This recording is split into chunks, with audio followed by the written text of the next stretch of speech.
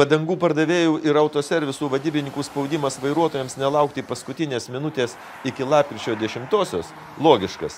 Mat kasmet apstu nesuspėjusių laikų pasikeisti ratus.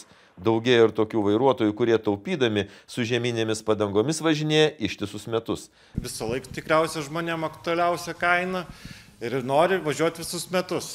Ir žiemą, ir vasarą, bet nu, esmė tokia, kad padanga negali būti ir minkšta, ir kieta nes vasarai reikalingos kietos padangas, žiemai reikalingos kuo minkštesnės.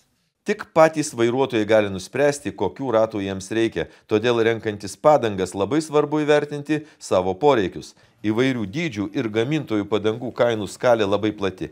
Viena nauja tokio padydžio padanga gali kainuoti nuo 32 iki 80 eurų. Jeigu perka du komplektus padangų, jūs bet kokiu atveju pinigų sutaupat. Tik tai gal tuo momentu atrodo, kad, nu, kad galima pravažiuoti. Nes jeigu turėsit vasarinės padangas ir žeminės padangas atskirai, tai galėsit važiuoti keturis metus.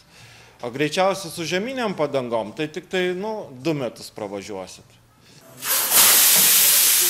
Autoservisai skelbė, kad padangų permontavimas ir ratų keitimas pabrango eurų kitų, tačiau taupyti savo ir kitų eismo dalyvių sąskaitą neverta bei neatsakinga.